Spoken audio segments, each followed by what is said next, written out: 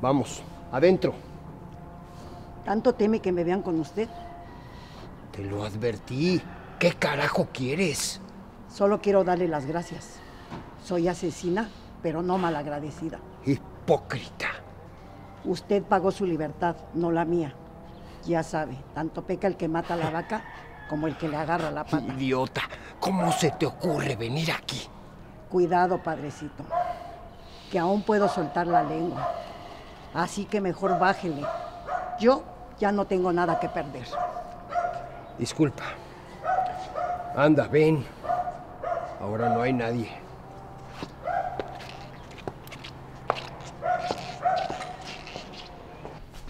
Hija, la gente está muy preocupada porque ya saben de tu liberación. Incluso me han pedido que no te permita el acceso a la iglesia. Pero esta es la casa de Dios.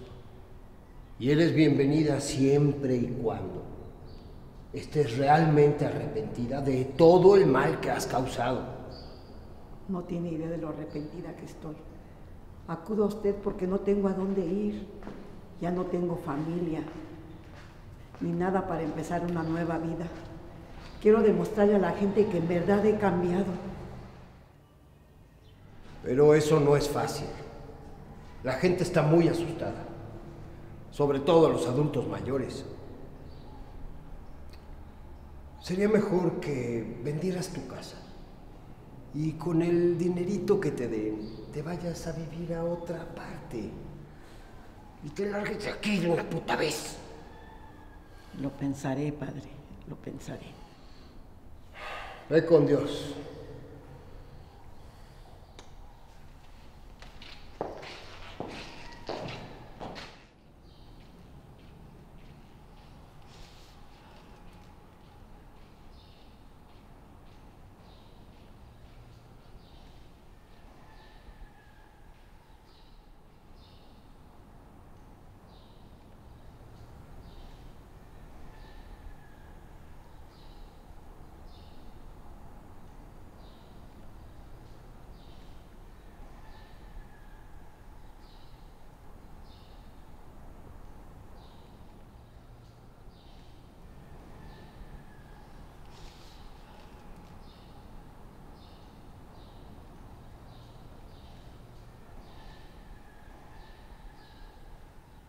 Buenos días, mujer.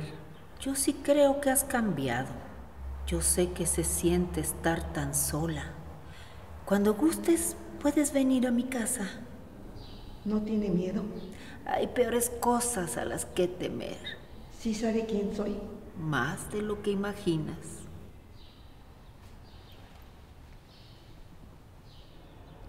¿Y por qué quiere ayudarme? Ay, mujer, déjate de preguntas. Es que me cae de raro.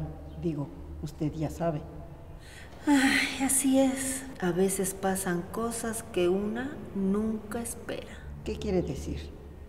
Pues eso. Una despierta y no sabe si llegará el día siguiente. Entonces sí me teme. Tú dime, debo hacerlo. He perdido práctica, pero no estaría de más ensayar. Veo que la cárcel no te quitó el sentido del humor. No lo tome a mal, pero no me creo cuento de que no me tiene miedo. Lo que tú no entiendes es que ya no me puedes hacer daño. ¿Y por qué piensa eso? Pues que más bien me harías un favor. Estoy muy vieja y cansada para estar aquí. Pronto lo entenderás. Este lugar no es nada agradable. Al menos es mejor que la cárcel. Esta es otra cárcel. A veces aún peor. No se ofenda, pero no hay punto de comparación. Mira, mi invitación está abierta. Es más, si te sientes sola, deberías vivir en mi casa. Me deja sin palabras. ¿Es usted, después del padre Rafa, que se atreve a hablarme? El resto solo me insulta. En realidad, tú también me dejaste sin palabras. ¿Cómo? Olvídalo.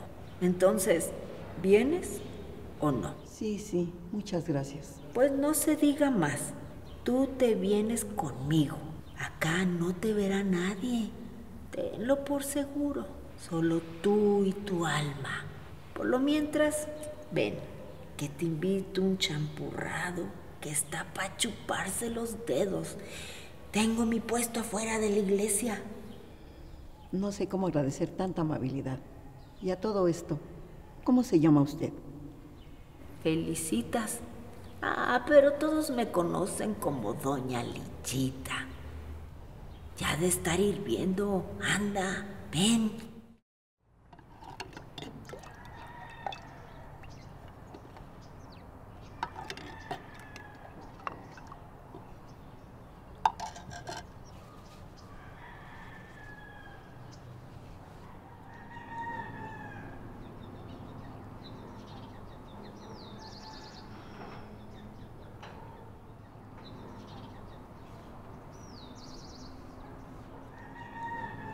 Ya casi son las ocho. Va a empezar a llegar la gente para la misa. Será mejor que te lo tomes rápido. Se te va a enfriar. Perdón. Digo que tomes tu atolito porque se va a enfriar. Así, ah, ya voy. Gracias. Tómatelo para que llegues más rápido. ¿A dónde? Ay, mujer. Andas en las nubes, ¿verdad? Pero ese lugar no te corresponde. Anda, apresúrate. Te voy a acompañar para enseñarte tu nuevo hogar. Ya verás que allá ningún cristiano te va a molestar.